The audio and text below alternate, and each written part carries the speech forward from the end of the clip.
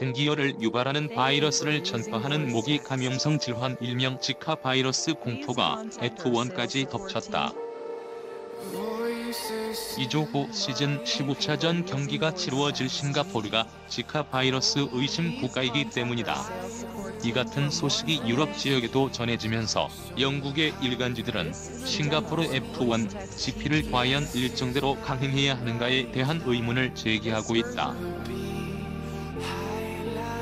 싱가포르 GP를 대비하던 F1 팀들은 자구책으로 소매가 긴 상의를 준비하고 있지만 사실상 대책이 없다. 챔피언 팀인 메르세데스 AMG 페트로나스 F1 팀 내부에서도 이 문제에 관해 논의 중이다. 지난주 몬자에서 우승컵을 들어올린 니코 로스버그는 가정이 있는 남성으로서 지카 바이러스에 관해 관심을 기울이고 있다고 말하며 우려를 표시했다.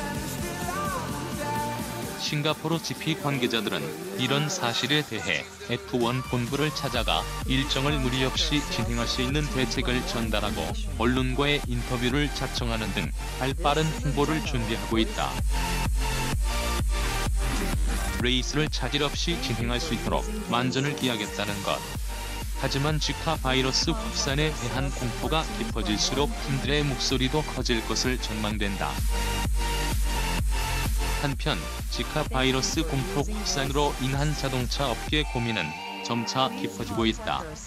각종 대회의 취소는 물론이고 신차 발표회와 국제 포럼과 세미나도 일정이 연기되거나 취소됐다.